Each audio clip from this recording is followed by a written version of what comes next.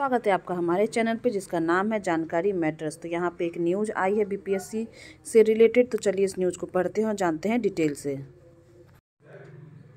दस अभ्यर्थियों के प्रमाण पत्र में गड़बड़ी। कटिहार से न्यूज़ है ये।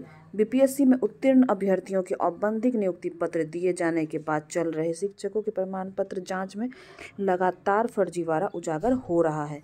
थंब इम्प्रेशन व फ़ोटो मिलान के सत्यापन कार्य के दौरान अधिक फर्जीवाड़ा। विसंगति सामने आ रहे हैं। फर्जीवाड़ा का मामला शिक्षा विभाग द्वारा डीईओ को दिए गए जाँच रिपोर्ट से उजागर हुआ। पाँच सदस्यीय समिति की ओर से जाँच के दौरान दस अभ्यर्थियों का सत्यापन के दौरान प्रमाण पत्र दस्तावेज़ विज्ञापन के आलोक में पद के लिए जारी अधिसूचना के विपरीत पाए गए हैं।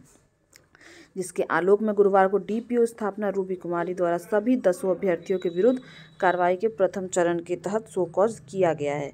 डीपीओ ने सभी दस सफल अभ्यर्थियों के विरुद्ध पाए गए विसंगति को लेकर 8 फरवरी को एक पत्र जारी करते हुए शोकॉज का जवाब मांगा है। ये लोग थे पाँच सदस्यीय जाँच दल में शामिल।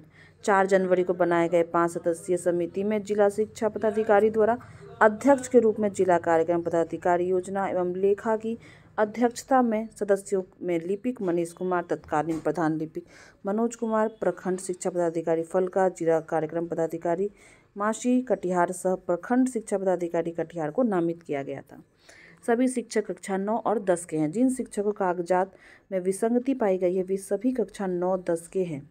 उनमें अविनाश कुमार राय, दीपक कुमार साह, सविता कुमारी, डीपी कुमारी, पूजा कुमारी, भवेश कुमार, मंडल प्रीति कुमारी, मधुकर रंजन, कुंदन कुमार सक्सेना एवं नैयर आलम प्रमुख रूप से शामिल हैं।